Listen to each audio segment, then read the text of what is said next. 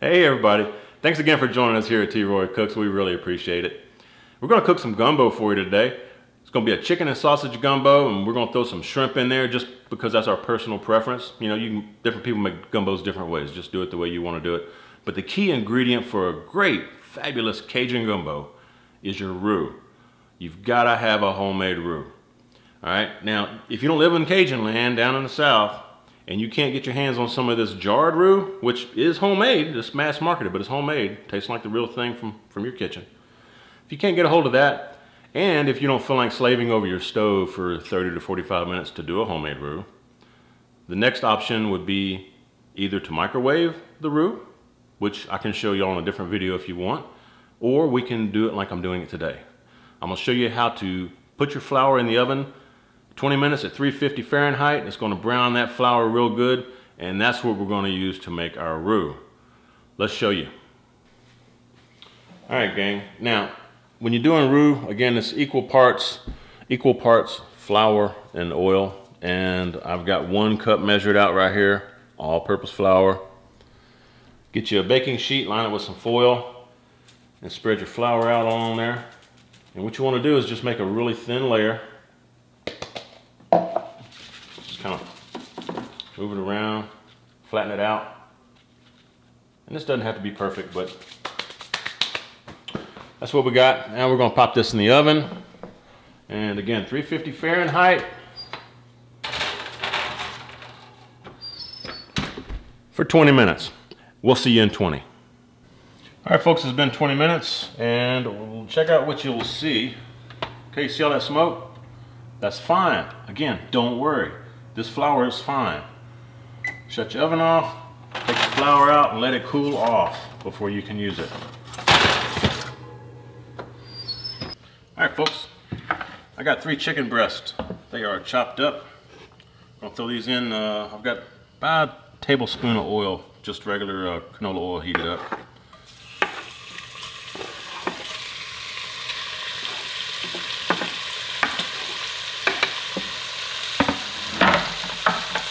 Do, get you some Cajun seasoning, or just salt and pepper if you want.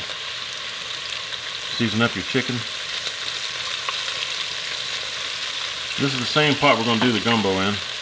So we just want to basically cook this chicken. You don't have to cook it all the way through, but give it a nice brown coat on all sides. Kind of partially cook it. So we'll do that and we'll be right back. All right, and after a few minutes, probably about four minutes, chicken is uh, just about cooked through. We'll take it out.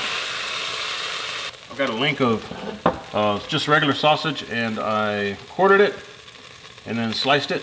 So you get these little chunks, you get a little chunk in every bite. We're gonna brown this up real quick. And what that's gonna do, that's gonna get this, make this uh, sausage release some of its grease. That way your gumbo is not super greasy. So give this a few minutes and we'll be right back. All right, so now our sausage is ready. We'll take this out and reserve it. All right, so got a little bit of that sausage oil in there, not a whole lot, maybe a couple teaspoons or so. And I used one cup of flour. So I'm gonna put uh, a little bit less than a cup. And a little more. Uh, a little less than a cup of, what am I using here? Canola oil. My flour is cooled off here. I'm Just gonna try to get it down in here as best I can.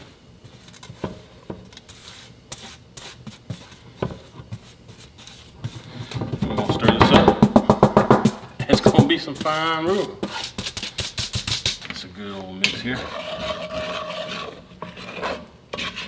Oh, yeah, and you got those chicken and sausage bits on the bottom. That's gonna be fine. So you see that color? It will get darker if you cook it a little bit longer like this on stove top. Or you could just add a little bit of, uh, I don't know, kitchen bouquet or some other browning sauce. Got my roux heated up.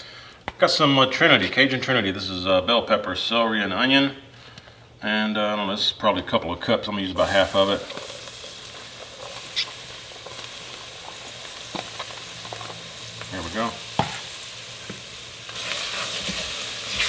Cook these veggies for just a minute, or a couple of minutes actually.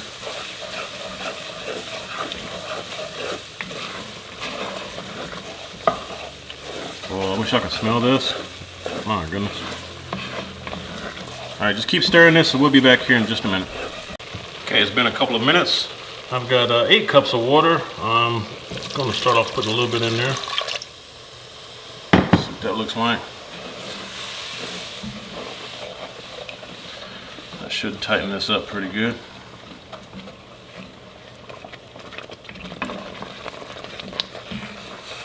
Oh yeah, check that out. Okay. Once it starts tightening up, put you some more in there.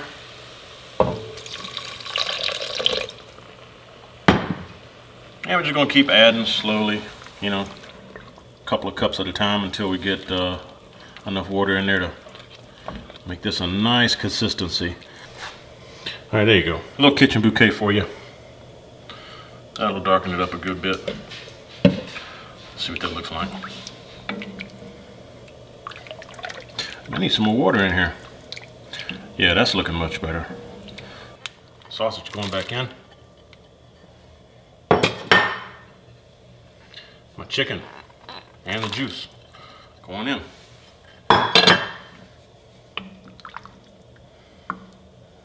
Is gonna be fine eating right here.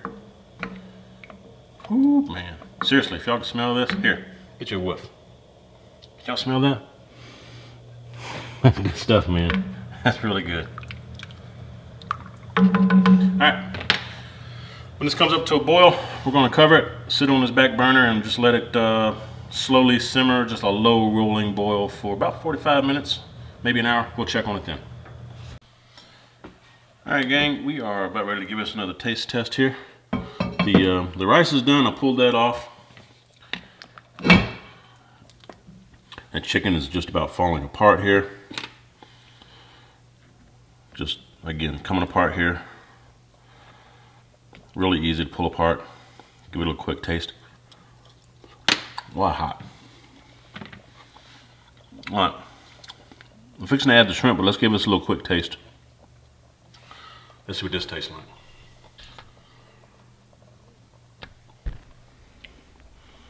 Ready? I'm not because this is hot.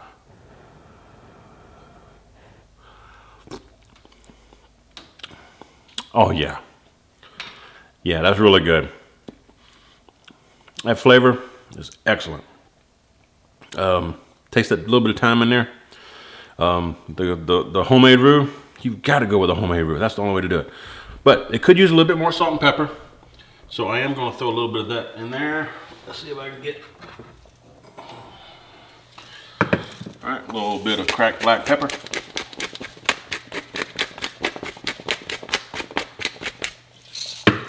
And a little bit of salt.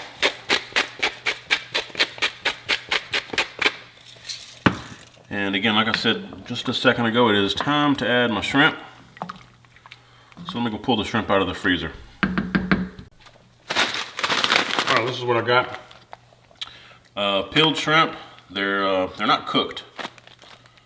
Ready to ready to cook. There you go. Ready to cook. Keep frozen. Do not refreeze. Look back here in the back. Product of USA wild caught. And it's from here in Texas. Should be pretty good. Look nice. Now what you want to do, these open right here. These in, and the gumbo is still on. So what I'm gonna do, this is, uh, these shrimp are frozen like I said, so they're gonna cool this gumbo off. But uh, what you want to do is kind of bring this back up to where it's just a really low boil again. And then I'm to put the lid on it, turn it off. And the residual heat will finish cooking that shrimp. And that way they don't get overcooked.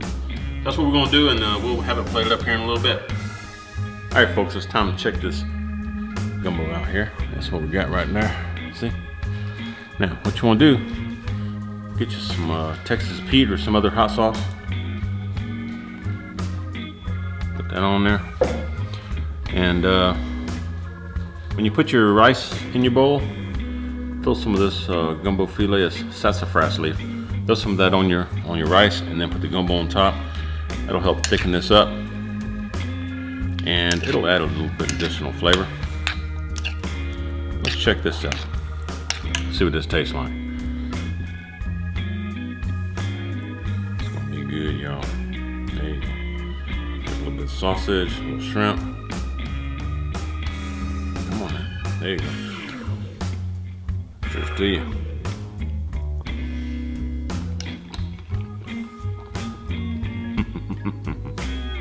oh yeah. Good stuff, man. So, as you can see, it's really easy to make that roux. Your gumbo turned out, out terrific. Hope y'all try it. And uh, man, if y'all like this, give me a thumbs up. Y'all sub if you're not sub already. Share the video, tell all your friends. T-Roy cooks responsibly. We'll see y'all next time.